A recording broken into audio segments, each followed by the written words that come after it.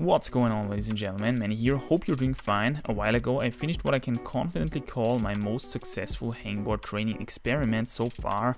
Why most successful? Because I pushed certain numbers significantly more than with any other experiment I did so far and the gains seem to carry over nicely to the outdoors, which is my focus as you know, so I'm very happy. Recently I've been investing some of that fitness into limit projecting with some success, so I thought it's about time to share a condensed report here on the main channel as well, as it might be helpful to some of you too. If you're interested in all details and tighter training updates, I recommend checking out the Patreon tribe where I documented the experiment in great detail. The experiment evolved around assisted one-arm pull-ups on edges. Why? I had already trained them in the past with subjectively good results, but I never tracked them objectively, which is something I emphasized and learned during my Emil method experiment. I wanted to apply these methods to assisted one-armers and see how certain numbers develop. The gear necessary for imitating this experiment is a Beastmaker 2000 hangboard or any other board with some edges to be honest, and a pulley system. I'm using the orange Petzl thing, I'll try to link it down below, and some weights for assistance or bonus if you're a formidable forearm soldier already. Here's the session protocol I used. It's 31 armor attempts, 10 on the middle edge half crimp, which is around 23 millimeters, I believe, then 10 on the 14 millimeter half crimp, and 10 on the middle edge three finger drag. Always 5 left, 5 right, alternating hands. The timing is very strict, which keeps the whole session under an hour. Successful attempt means I got my nose to the edge I was pulling, anything below that was counted as unsuccessful. If an attempt was successful, I would decrease my assisting weight for the next attempt, making the lift harder, and if an attempt was unsuccessful, I would try the same assisting weight for same difficulty or even increase assisting weight, making my next attempt easier. The goal of each session was to score successful lifts with as little assisting weight as possible, especially during attempts 4 and 5 of each side and category, which I recorded for analysis later on. The idea was to migrate to Mountain Gorilla forearm land where I would always break or at least match records of previous sessions to draw a nice progression graph and some interesting, hopefully ego pushing conclusions in the end. The recorded session numbers were the first way of tracking this experiment, the second was pre and post experiment assessment sessions, which I made good experiences with tracking the Emil method. You can see the protocol I used for this experiment here, it's a fixed sequence of test hangs and pull-ups on various holds and grips with various bonus weights, aiming to pick up finger and upper body strength gains or losses by comparing max hang time or max pull-up count pre versus post experiment. We will go over the records of individual and assessment sessions in a second in the results part of the video. Again, if you're curious how I came up with these protocols, the process is documented on the tribe. When it comes to frequency, the goal was two sessions per week on average, but I ended up with a bit above one session per week on average for various reasons. The planned experiment duration was one month, but I ended up with two months for various reasons. The hangboard sessions were not the only training I was doing during that experiment, just to give you the complete picture. Over the two months experiment duration I did, apart from 10 one armer hangboard sessions and two assessment hangboard sessions, also 8 home wall bouldering sessions and 12 outdoor lead climbing sessions, which had priority like almost always when it comes to my training. Here's a timeline of all 12 hangboard sessions. As you can see, they were not executed in homogeneous frequency. Sometimes they were short, sometimes quite long breaks between sessions. Now you know what I did, let's look at the results. Starting with the numbers I recorded each session. From the two recorded lifts of each category and side, I took the best successful value or the worst unsuccessful value if both lifts were unsuccessful, which happened on a rare occasion, to get an impression of how strong or respectively how weak I was during that session. I multiplied these by 1.3 to factor in the friction of my pulley system and subtracted that from the training weight I had during that session to arrive at the actual amount of kilograms I was lifting or failing on. I used these numbers to plot progression graphs of the categories and sides, starting with the 4 fingers half crimp Beastmaker 2000 middle edge, one graph left hand, one right hand, the higher numbers right, demonstrating that my right hand is significantly stronger on that lift throughout the whole experiment. We see a first drop in session 4, then a longer break and then a significant second wind with the strongest sessions 7 and 8. When bringing in training weight, we can see that as my strength went up and my training weight dropped slightly, at some point the lifted kilograms crossed my training weight, and consequently that's when I was able to pull an unassisted one armer on that lift. First with right in session 3 and later with left in session 8, a definite lifetime record only possible in that session during this experiment. I'll share more stats on screen to not lose too much time. Bringing in the Beastmaker 2000 14mm half crimp performance, we see a similar pattern but significantly lower numbers than on the middle edge. This edge is smaller, the lifts are harder, I never crossed my training weight here, so no unassisted one-armers, no glory. However, significant improvements, starting off with quite a strength difference between left and right, but then left hand catching up and in one session, session 6, even exceeding right hand, that's worth a discussion later on I would say. Let's look at the Beastmaker 2000 middle edge 3-finger drag performance. We see lower numbers than the middle edge half crimp, indicating that my 3-finger drag is weaker than my half crimp. However, this is the grip which made the biggest improvements throughout the experiment. Although it took off from even lower numbers than the 14mm half crimp, I managed to hit my training weight with right hand in session 8 and consequently got my first ever unassisted 3-finger drag one armer on the middle edge done with right, another lifetime PR are. I did not get that far with left unfortunately due to the usual left-right strength difference which displays very clearly on the three-finger drag middle edge as well, similar to the half-crimped middle edge. As you can see the amount of left-right strength imbalance is not equal across all grip types, it is most prominent on the middle edge half crimp with differences of up to 4 kilograms and smallest on the 14mm half crimp where left and right are almost equally strong, especially towards the end of the experiment. I calculated means of all left and right hand performances. From this we can see that my overall imbalance throughout the experiment is relatively constant at around 2 kilograms. This was part 1 of the results, that is the numbers I noted during the sessions. Part 2 is the test tanks and pull-ups of the pre and post experiment assessment sessions. These are interesting as well, as some of them give a perspective also on the previous Emil method experiment, which I tracked similarly. I won't go over all the individual hangs now, because that's a lot actually. Instead I'll show you the protocol again with max hang time and newly introduced max pull-up count results of the test lifts of the pre and post experiment sessions as well as the post-Emil method session if available and comparable.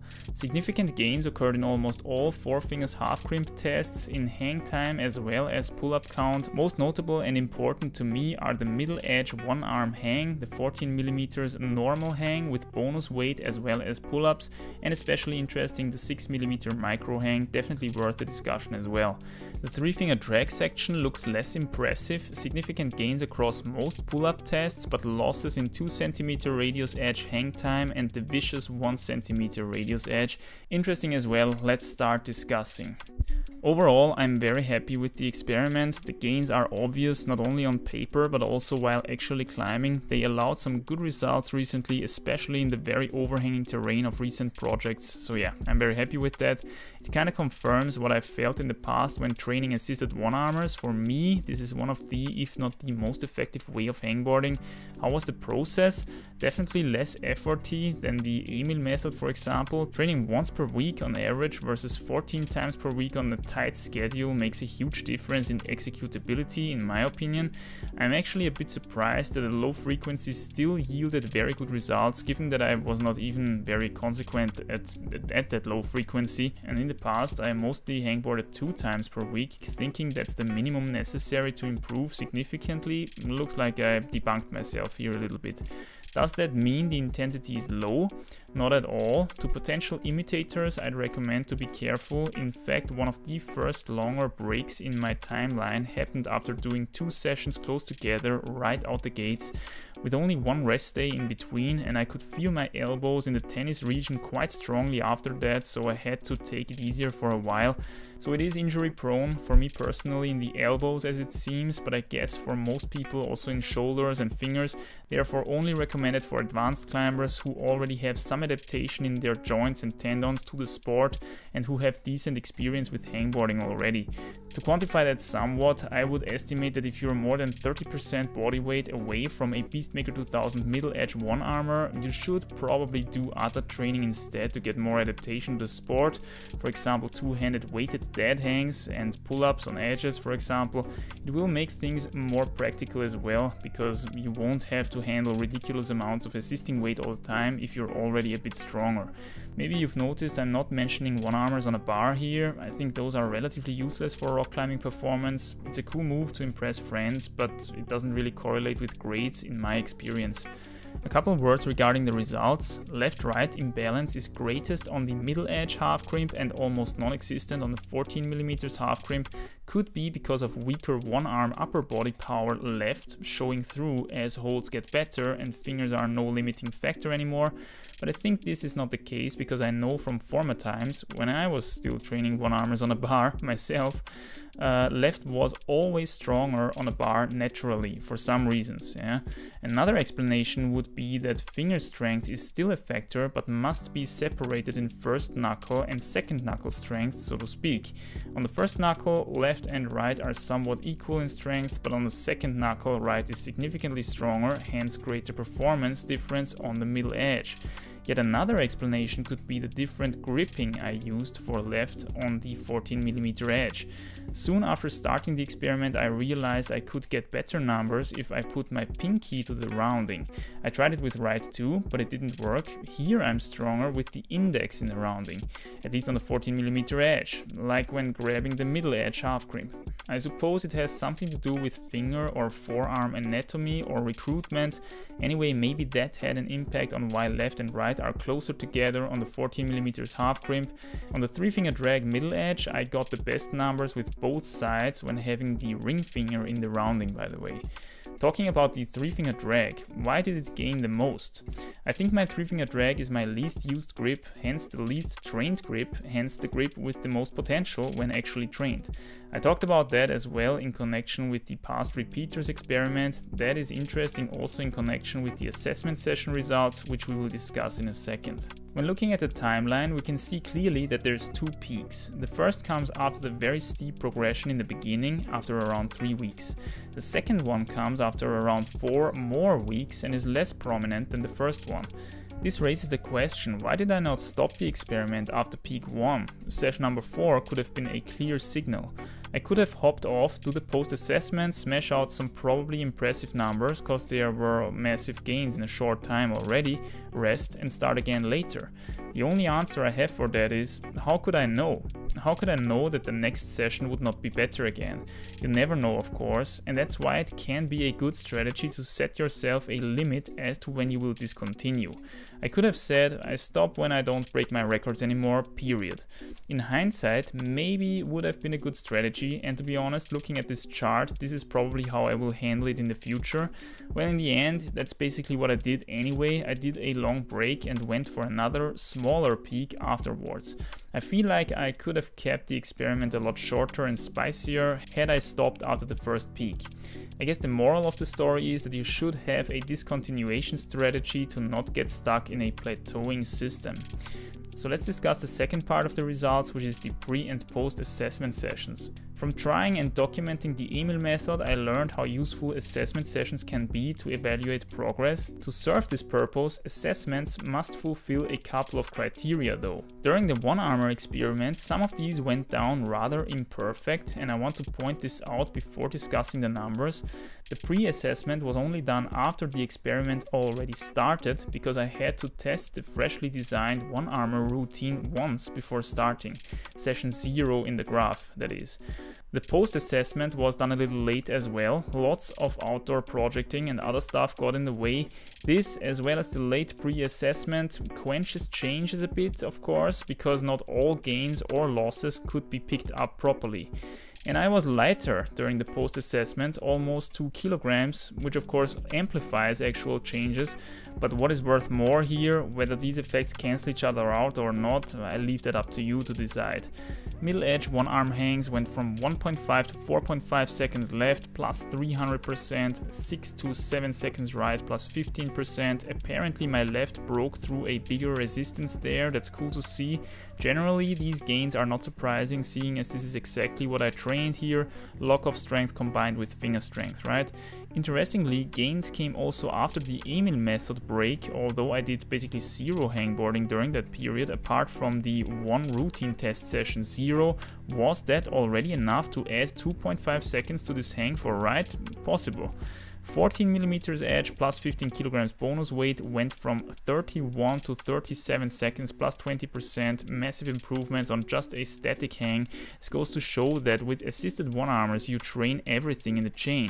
Shoulders upper arms and fingers because you could assume that a more dead hang style test would not improve as much as a pull-up tests from just one armers right? But because we're doing them on edges fingers are challenged as well. Raises the question why even train dead hangs, which only hit fingers, when you can get results on all fronts with one armers? Well, as I said previously, the one armers are injury provoking in more areas as well, so you gotta be solid in all areas and already quite fit. I think dead hangs can still be useful to work yourself up to that. 14mm pull-ups plus 15 kilograms bonus weight went from 5 to 7 plus 40%, big gains, obviously upper body power. Big bonus weights put training weight differences of the assessments into perspective by the way. Let's look at that quickly. 64 plus 15 is 79 kilograms, 2 kilograms of 79 kilograms, me plus bonus is around 2.5%, can't really be made responsible for 40% of gains. Then something interesting, 6mm static hang jumped up again after a drop after the Emil method. I think here we see the skin building effect again, which I was going for by doing small edge cooldown pull-ups at the end of each one armer session. Stuff I learned from the Emil method basically, put into practice. Moving on to the three finger drag, almost all pull-up tests improved, one stayed the same. Here we see upper body gains again, yet hang time decreased on some hangs or stayed the same on others. Here we see the skin effect again, in my opinion. My fingertip skin was definitely harder after this experiment, so I had trouble grabbing those friction dependent round edges of mine. In the future I will have to test three finger drags on normal edges, the 14mm for example, as well, to exclude the skin factor a bit more. Because I know that I actually got stronger on the three finger drag as well from the one armer sessions records, right? So we see yet again how powerful the skin factor is. It can make these gains pretty much invisible. So here's some conclusions. If I'm fit and I have no injuries, I think there's hardly a more effective way for me personally to train on a hangboard than assisted one arm pull-ups. It trains all the important links of the pulling chain, shoulders, upper arms and fingers. Despite a possibly still successful low training frequency, these sessions are intense, so be injury free and an already advanced climber if you try this yourself. Some corrective pushing exercises on the side might be a good idea as well have an exit strategy, something like okay, if I don't break my records anymore, I'll stop. And then migrate to Mountain Gorilla forearm land, of course. That's it for this episode, my friends. I hope you enjoyed it. Again, if you're interested in more details and tighter training updates, check out the Patreon tribe. Thanks for watching this to the very end and stay strong and healthy. I'll see you soon. Bye.